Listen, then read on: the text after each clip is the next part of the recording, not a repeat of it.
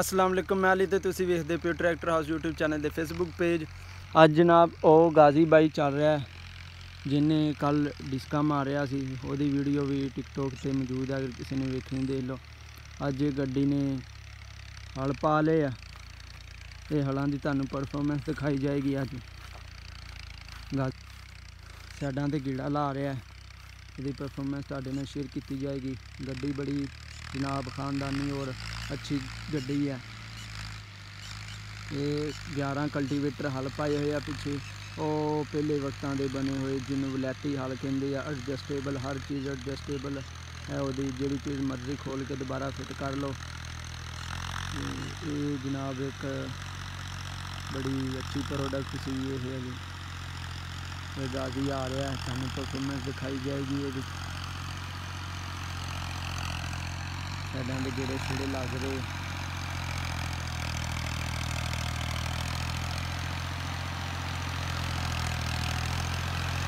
ਇਹ ਮਾਡਲ ਦਾ ਟਰੈਕਟਰ ਬੜੀ ਅੱਛੀ ਗੱਡੀ। ਉਹ ਥੋੜੇ ਜਿਹਾ ਹੋਰ।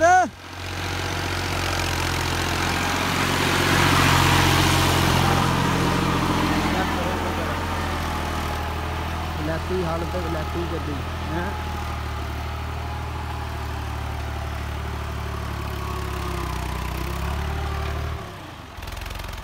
ਔਲ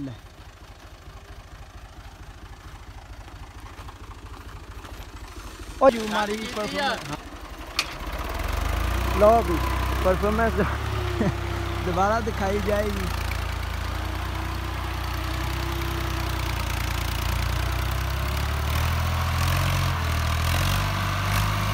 ਹੈ ਤੋਰਾ ਚੈੱਕ ਕਰੋ ਗੱਡੀ ਦਾ ਤੋਰਾ ਵਾਹ ਗਾਜ਼ੀ ਵਾਹ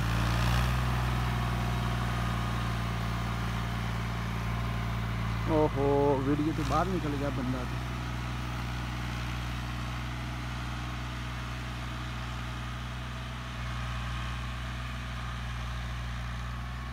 ਓਹੋ ਤਜਰਬਾ ਹੀ ਮਾਸਟਰ ਦੂਰ ਕਰਨ ਚਲਾ ਗਿਆ ਮੇਰੇ ਆਂਦਾ ਤੇ ਤਜਰਬਾ ਤੁਹਾਨੂੰ ਵੀ ਦਿਖਾਇਆ ਜਾਏਗਾ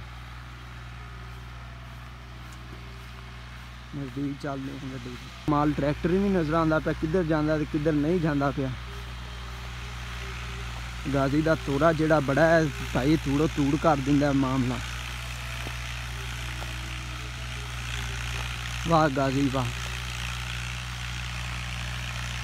ਗਾਜ਼ੀ ਦੇ ਜਨਾਬ ਬੜੇ ਸ਼ਸ਼ਕੇ ਸ਼ਸ਼ਕੇ ਮਸ਼ਕੇ, ਸ਼ਸ਼ਕੇ।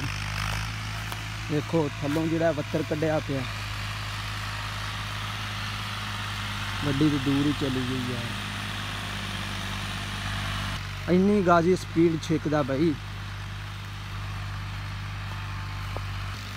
ਗਾਜ਼ੀ ਵਾਲੇ ਦੋਸਤ ਜਿਹੜੇ ਆ ਉਹ ਕਮੈਂਟ ਝਾਲਦੇ ਲਾਓ ਤੇ ਆਪਣੀ رائے ਦਾ ਇਜ਼ਹਾਰ ਕਰੋ ਗੱਡੀ ਜਿਹੜੀ ਹੈ ਬੜੀ ਅੱਛੀ ਗੱਡੀ ਹੈ ਗਾਜ਼ੀ ਇੱਕ ਨਿਊ ਹਲੈਂਡ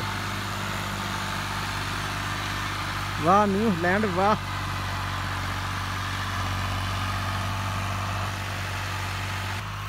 ਇਹ ਗਾਜ਼ੀ ਜਨਾਬ, ਐਸਾ ਟਰੈਕਟਰ ਆ, ਇਹਨੂੰ ਭਾਵਾਂ ਵਾਓ ਸਰਦੀਆਂ 'ਚ ਤੇ ਭਾਵਾਂ ਵਾਓ ਗਰਮੀਆਂ 'ਚ ਇਹ ਨਾ ਗਰਮ ਹੋਵੇ ਤੇ ਨਾ ਇਹ ਟੁੱਟੇ ਭੱਜੇ। ਐਸੀ ਇਹ ਪ੍ਰੋਡਕਟ ਹੈ ਨਿਊ ਕੁਝ ਲੋਕ ਇਹਨੂੰ ਕੁਝ ਚੀਜ਼ਾਂ ਤੋਂ ਨਾ ਪਸੰਦ ਵੀ ਕਰਦੇ ਆ ਤੇ ਕੁਝ ਪਸੰਦ ਵੀ ਕਰਦੇ ਆ।